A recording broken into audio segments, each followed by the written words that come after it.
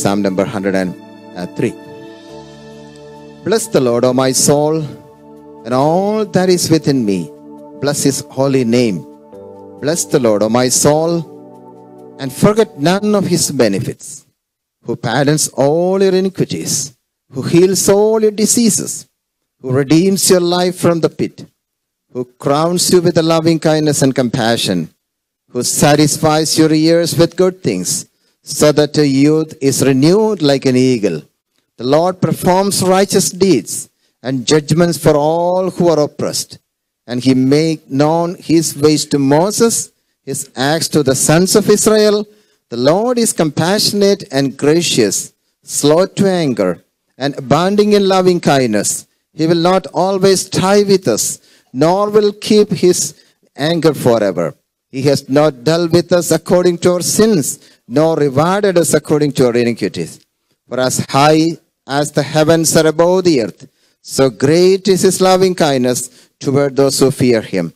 As far as the east is from the west, as far as so removed our transgressions from us, just as a father has compassion on his children, so the Lord has compassion on those who fear him. For he himself knows our frame. He is mindful that we are but dust. As for me, man, his days are like grass, as a flower of the field, so he flourishes. When the wind has passed over it, it is no more, and its place acknowledges it no longer. But the loving kindness of the Lord is from everlasting to everlasting on those who fear him, and his righteousness to children's righteousness, the children. To those who keep his covenant and remember his precepts to do them. The Lord has established his throne in heavens, and his sovereignty rules over all. Bless the Lord, you his angels, mighty in strength, who perform his word, obeying the voice of his word. Bless the Lord, all of his hosts, you are you who serve him doing his will. Bless the Lord, all you works of his, in all places of his dominion. Bless the Lord, O my soul. Let's all read together verses 21 and 22. 21 and 22. Bless the Lord, all of his hosts, you who serve him doing his will. Bless the Lord, all your works of.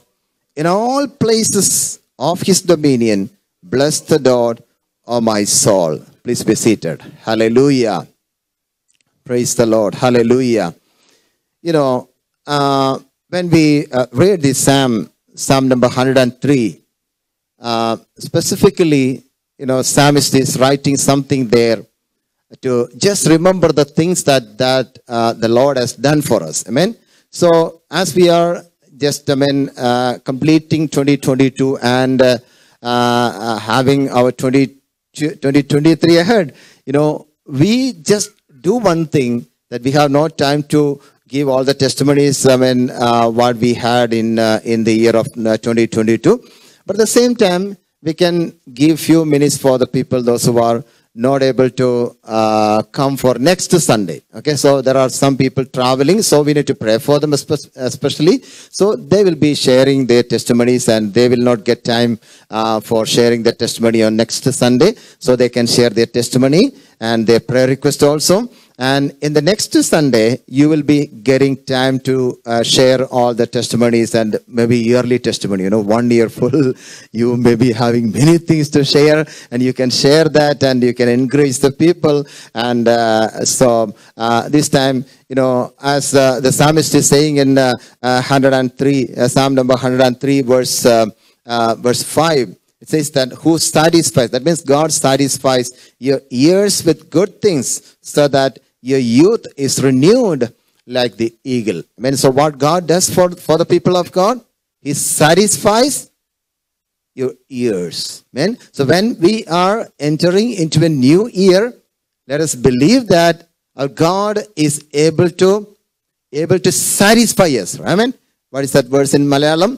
നിന്റെ യൗവനത്തെ എന്ത് ചെയ്യുന്നു കഴുകനെ പോലെ പുതുകി വരത്തക്കവണ്ണം അവൻ നിന്റെ വായിക്ക് നന്മ കൊണ്ട് തൃപ്തി വരുത്തുന്നു that means you know god is filling your mouth with the goodness of god That means you have many things to share about God with your mouth, right?